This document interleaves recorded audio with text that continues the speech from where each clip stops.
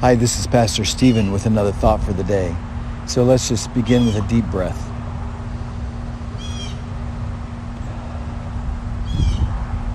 So I have a reading from Mark, Mark Nepo called Burning Our Way Out, and he's talking about the spirit in us, uh, or our heart, or our passion, our longing, and how it has this need to be expressed.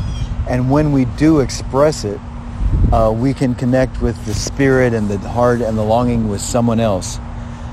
So he says, despite gravity, against gravity, in counterpoint to the weight of the world, a glowing heat that can be blocked out but not contained emanates throughout all beings as love, thought, longing, and peace.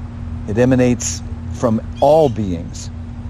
When letting this vibrancy through, we open the common heart that lives beneath all human longing, and the fire at the core begins to rise. This rising forth is what I live for, and it's what keeps me alive.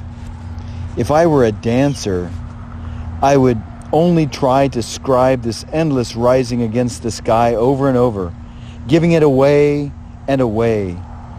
Oh, the heart, like a whale, has no choice but to surface, or we die. And having surfaced, we almost dive, or we die.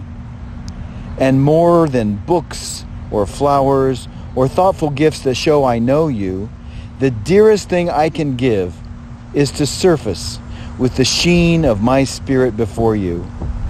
And that's true. You know, the, the best gift that we could possibly give those we love is to let our truth, the truth of our being, our spirit, our passion, be expressed and live, and then to receive theirs. I think that's beautiful. And that's our thought for